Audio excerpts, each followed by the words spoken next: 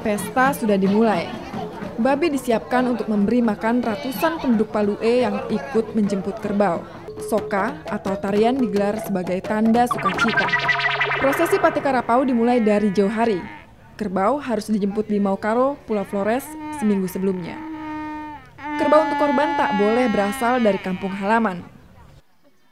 Pernah di zaman-zaman di tahun-tahun sebelumnya ada percobaan ke arah itu tetapi orang semua pada takut tidak berani untuk melawan karena kembali kepada mereka itu banyak bencana yang menimpa keluarga mereka. Baik. Pesta sudah dimulai. Babi disiapkan untuk memberi makan ratusan penduduk Palu E yang ikut menjemput kerbau. Soka atau tarian digelar sebagai tanda sukacita.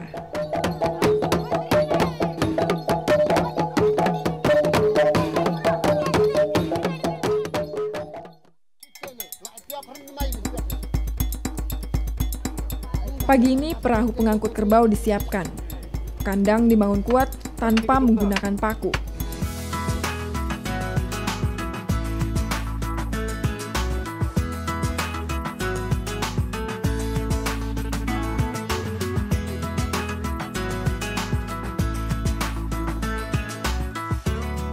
Menjauh di Palu E, seorang perempuan yang dipercaya memiliki ikatan batin dengan kerbau mulai memasuki rumah adat.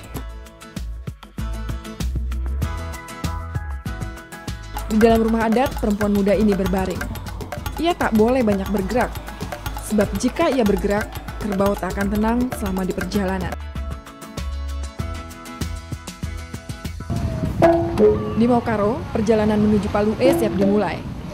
Satu persatu warga memenuhi perahu yang akan membawa mereka pulang.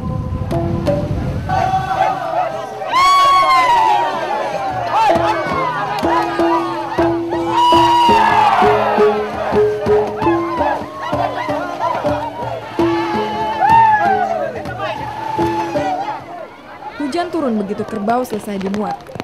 Pertanda baik ini disambut gempita seluruh warga Palu E. Hujan telah berbulan-bulan tak turun di sini.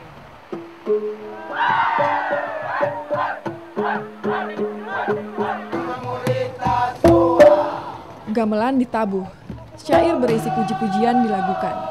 Perahu kerbau dituntun menuju Palu E.